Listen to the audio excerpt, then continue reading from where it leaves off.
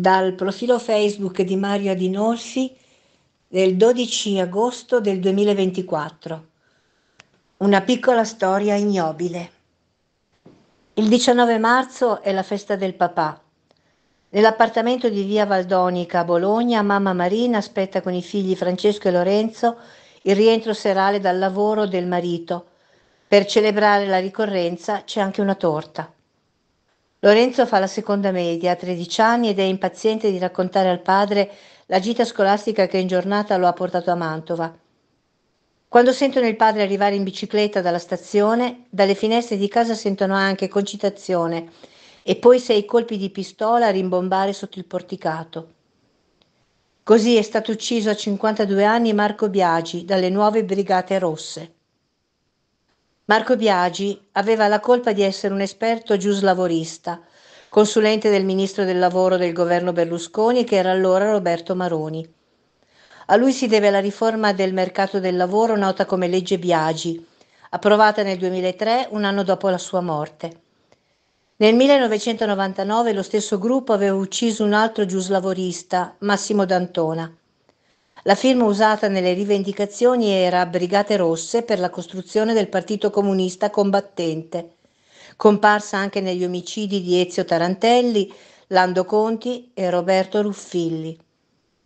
A sparare materialmente contro Marco Biagi e contro Massimo D'Antona fu Mario Galesi, brigatista intercettato dagli agenti della Polizia Ferroviaria il 2 marzo 2003 sul treno Roma-Firenze, uccidendone uno, Emanuele Petri, ferendone un altro, Bruno Fortunato, che però, pur colpito al fegato e al polmone, fece in tempo a rispondere al fuoco uccidendo lo stesso Galesi e arrestando la sua complice Nadia Desdemona Lioce.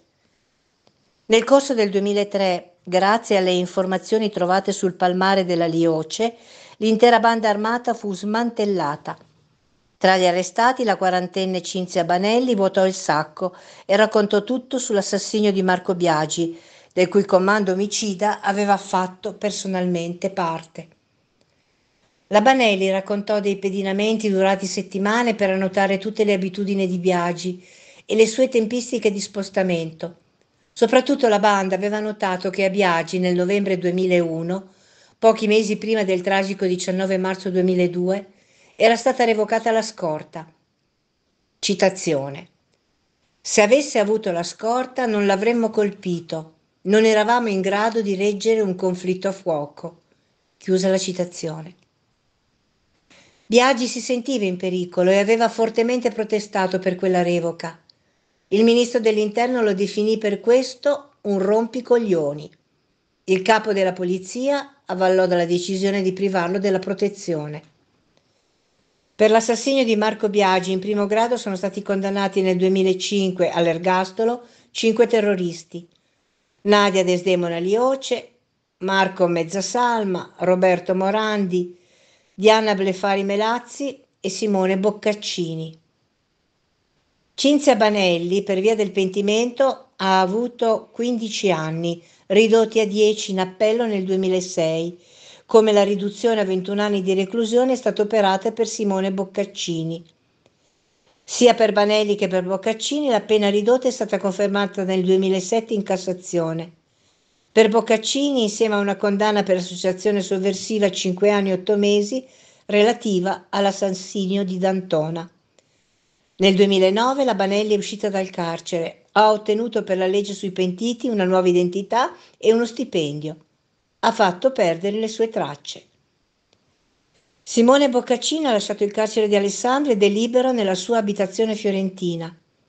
Il figlio di Marco Biagi, Lorenzo, ha protestato ieri sui giornali per questa scarcerazione. Citazione. Boccaccini libero?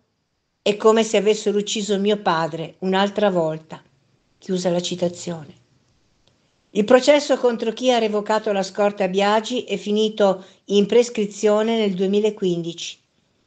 Nel 2010 intanto Bruno Fortunato, l'agente della polizia ferroviaria che aveva ucciso l'assassino di Biagi e arrestato pur ferito Nadia Desdemona Lioce, si è sparato un colpo in testa.